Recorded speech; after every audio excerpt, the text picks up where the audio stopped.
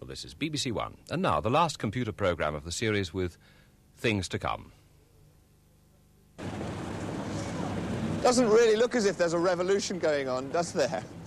In fact, everything seems perfectly normal, as if the world has always been like this. But it hasn't. The world our grandparents was born into was a very different place. And yet, it's amazing how quickly people can adapt to change. Now, in this series, we've looked at how computers are going to affect virtually every aspect of our day-to-day lives. Now, should we regard those changes as a threat or an opportunity? What can we really expect from things to come?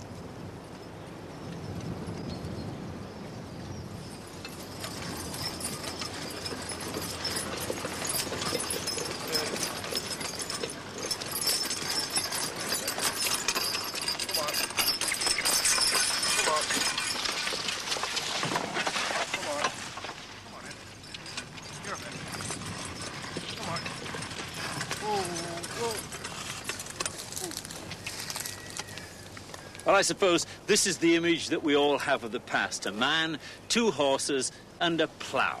It's traditional and it's timeless, a sort of picture of the way things were. But agriculture, like any other form of production, has had to change. And whilst the revolution on the land has been less visually dramatic than in industry, it happened surprisingly fast.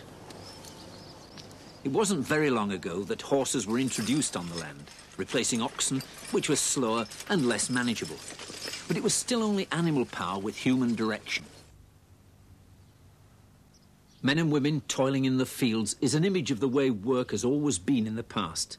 And it's only in the last 200 years or so that production has become less labour intensive. Early farm machinery relied on horses to drive it, but they couldn't supply the power nor the speed that more sophisticated machines required.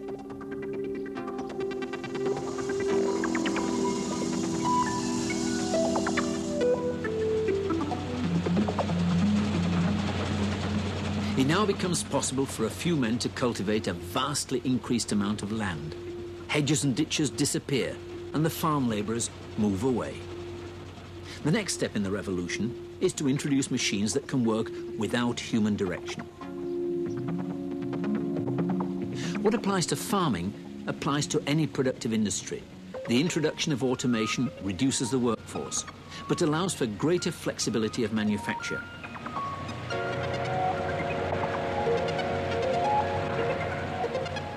One of the world's largest computer companies, is beginning to look at the field as a kind of production line, which could grow several different crops simultaneously.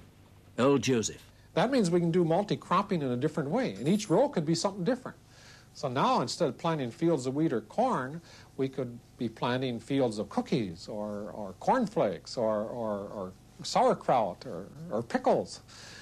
And uh, what would a field of cookies look like? Well, let's look at Grandma Brown's chocolate chip oatmeal cookies. Uh, we would instruct our machine to lay down three rows of wheat. Right next to that, a row of oats.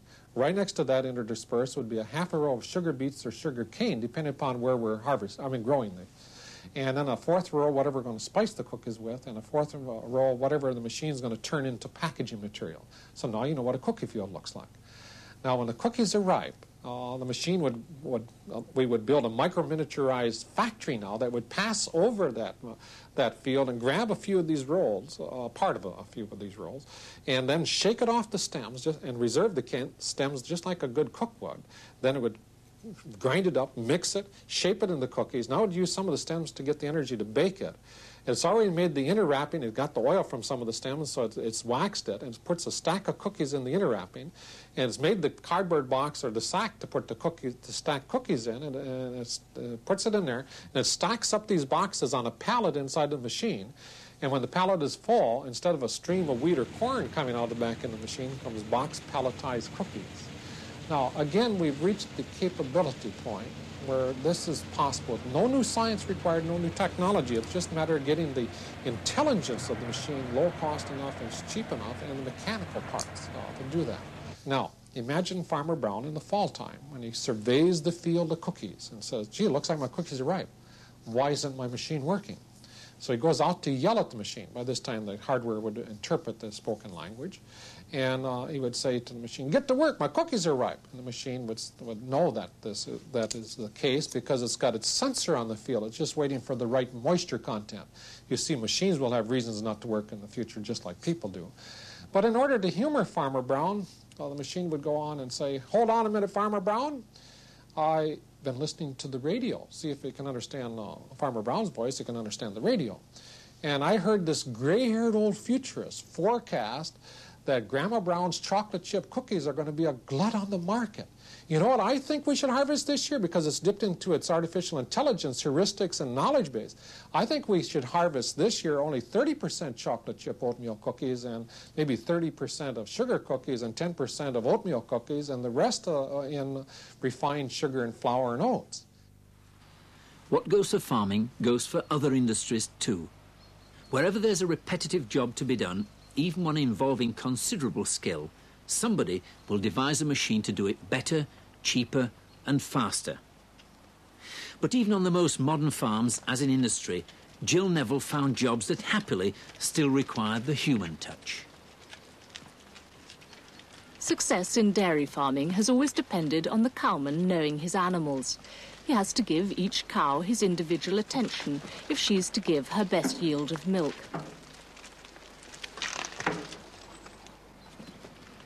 Peter Mills has a herd of 150 cows in the Itchen Valley. Two years ago, he bought a small computer in order to provide the cowman with detailed information about each cow, as well as an instantly available overview of the entire herd.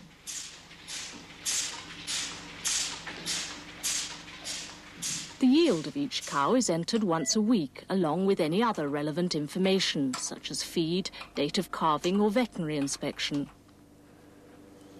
got right. the concentrate that comes. Okay, lovely, thanks. Let's just have a look see. Um, Louise, I think we seem to have a problem with one or two of these cows. Number 143, she's dropped by 50% down to four litres a day. Um, can you let me have a individual cow record? Yes. Um, so we can have a... 143, you 143, said? 143, yeah.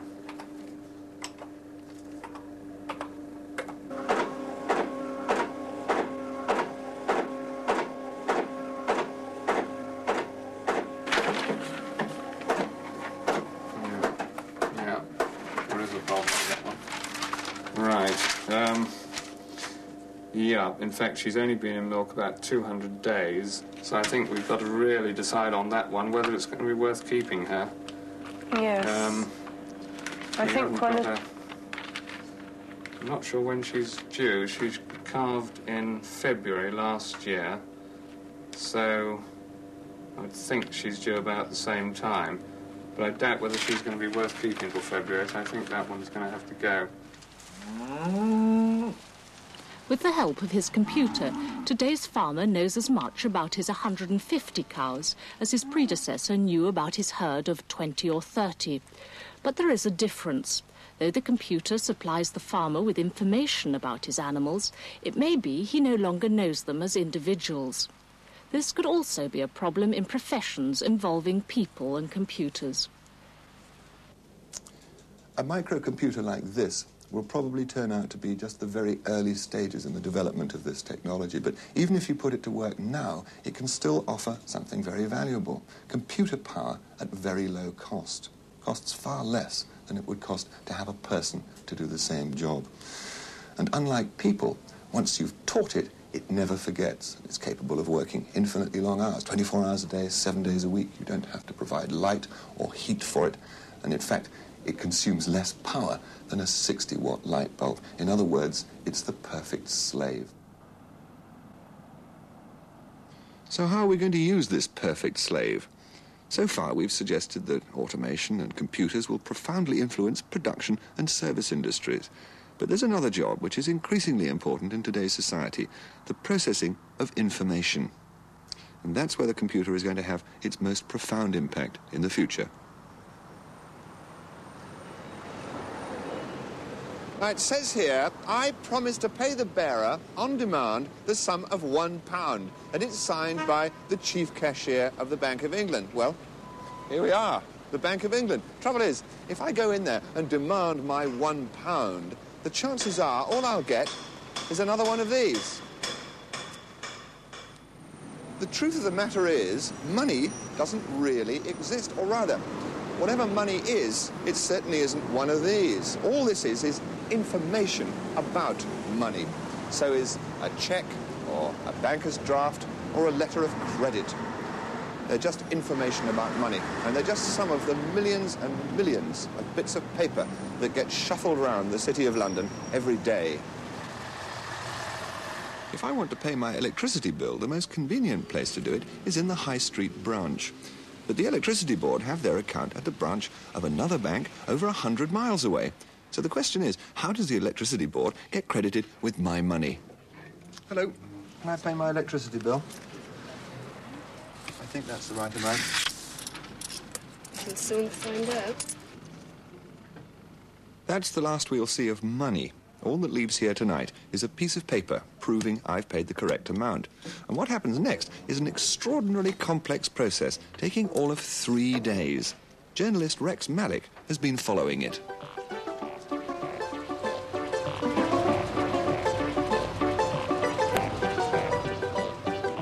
Chris's payment record goes first to the Barclays Bank Clearing Centre in the city.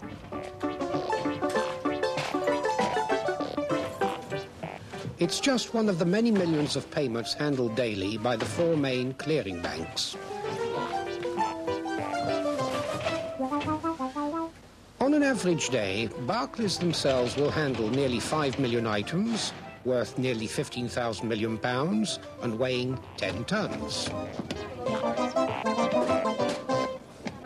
The paper chase we are following is probably one of the world's most complex, routine, large volume paper handling operations.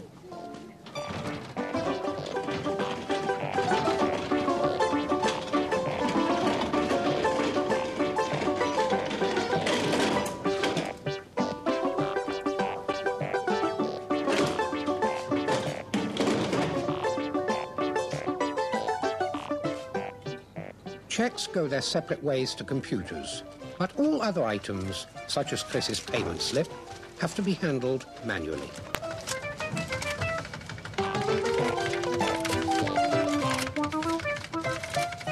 This first sort will separate all the payments Barclays have to make, bank by bank, and then add them up, because what Barclays needs to know is how much it owes to each of the other banks. Nobody in this operation wants to know why any payment is made, or indeed who the payment is to. All the operations that these people here are doing are concerned with speeding the correct information on its way to the correct bank and the correct account. You'll remember that Chris paid his electricity bill at a Barclays local branch. But the Electricity Board have their bank account at a National Westminster branch.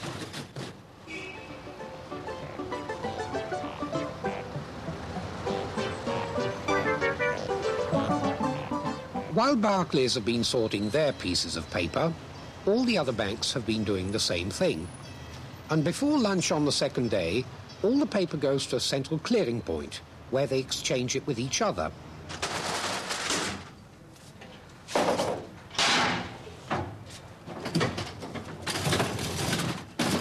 And somewhere in that lot is the record of Chris's payment.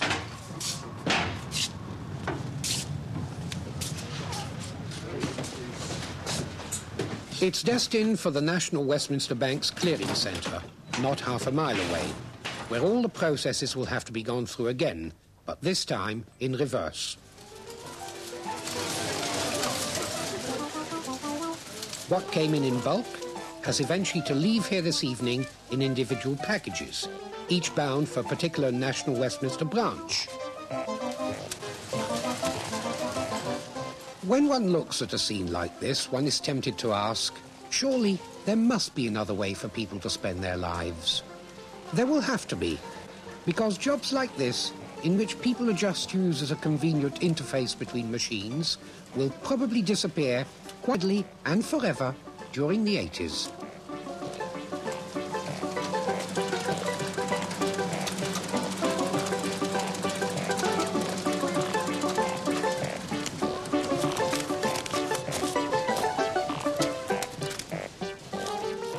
Glad or sorry? In my opinion, we should be glad.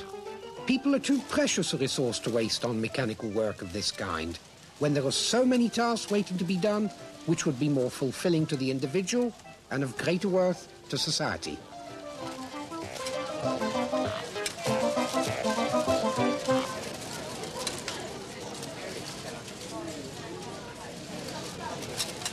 Computers, Chris said, are perfect slaves. More than 30 years ago, Norbert Wiener, one of the founding fathers of the computer age, had this to say. Any labour that accepts competition with slave labour accepts the conditions of slave labour and is essentially slave labour.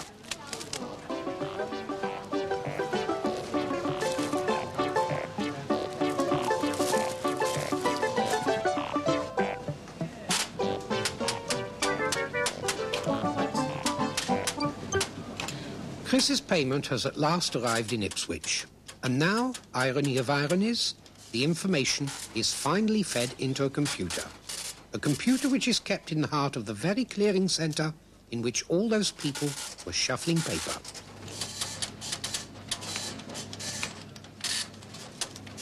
The electricity board has finally got its money.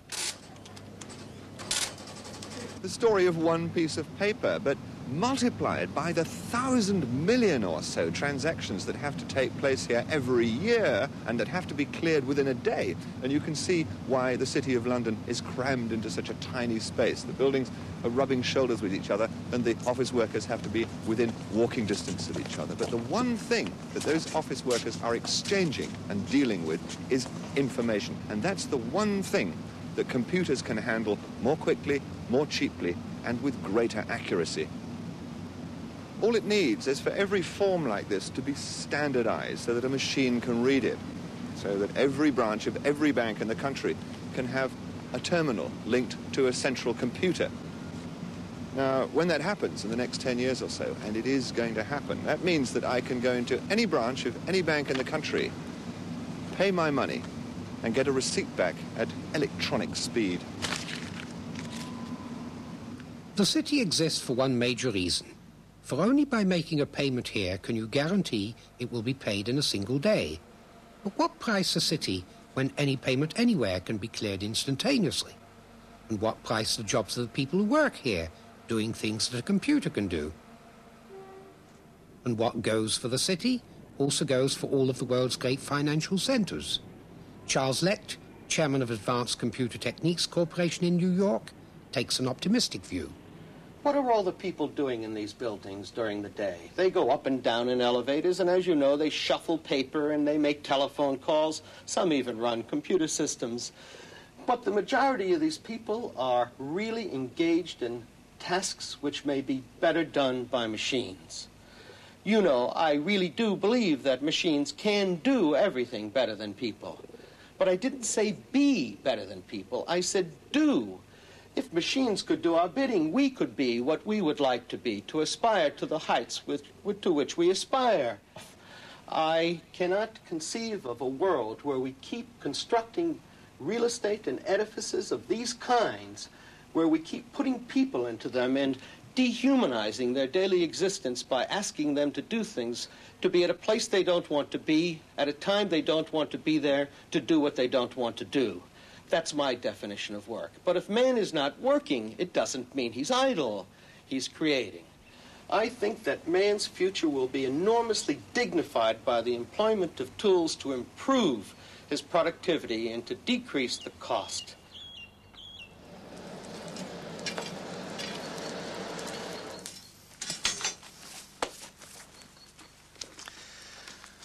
In the beginning, there was a gaffer.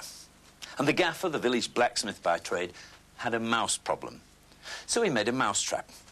After a week or two, it turned out that this caught mice faster than any other mousetrap had ever done before. Word spread, and suddenly everyone wanted his better mousetrap. He just couldn't make them fast enough. So he put his sons to work to also make even better mousetraps. That gave him more time to make deliveries and take new orders. Demand grew, for word had now spread throughout the surrounding countryside. But now when he came home late at night, he was often tired, much too tired to do the paperwork. So he asked his wife to look after the accounts and pay the taxman. But his sons were young, and they liked to fool around, and mousetrap production often seemed erratic. So regretfully, because he liked calling on his customers, he hired a peddler to go out and sell them for him, while he stayed at the smithy to supervise. But today, a century on, the local smithy has become the headquarters of the world's best mousetrap corporation. He's got plant and offices in every country in the world and thousands of employees. What his sons did has become manufacturing. What his wife did has become finance and administration. The peddler has become sales and marketing. And he and the supervisor, of course, have become management. I suspect if he was around today, he'd still be attempting to make an even better world's best mousetrap, and he'd be working in research and development. But of all these thousands of people, very few of them know anything about mousetraps. In fact, some of them have never even seen a mousetrap. What they do is add up figures. They write memos to each other. They work out each other's wages and generally shuffle paper. And as the company grows, more and more of these people are taken on just to support those very few people who really understand how to manufacture and sell mousetraps. Today, the silicon chip promises to replace most of those people and most of those processes, and allow the gaffer to build and sell as many mousetraps as he wants, without them. Indeed, the Mousetrap Corporation, one can observe, is probably built on sand, and the sand, in the form of silicon, is slowly but surely gobbling it all up.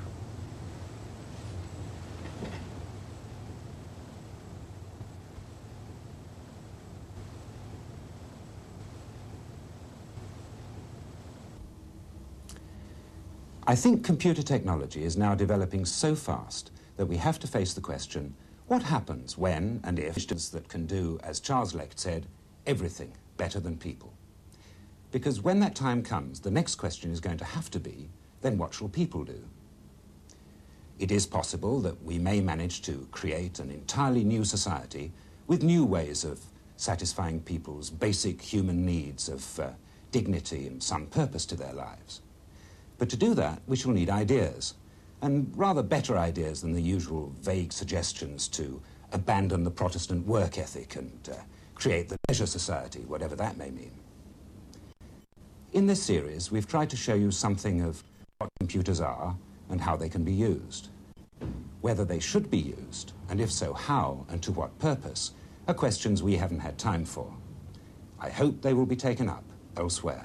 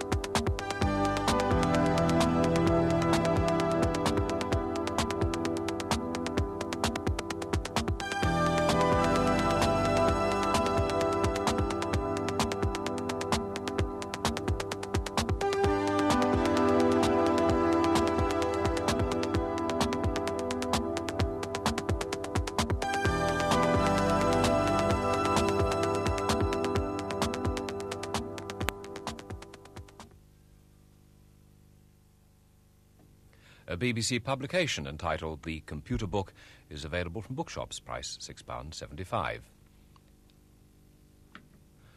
For details of other parts of the project, including the BBC microcomputer system and BBC application software, the associated NEC correspondence course in programming and information about courses, computer clubs, and other sources of advice in your area, please send a stamped addressed envelope at least 12 inches by 9 inches to Broadcasting Support Services, PO Box 7, London W36XJ. And please indicate clearly what information is required.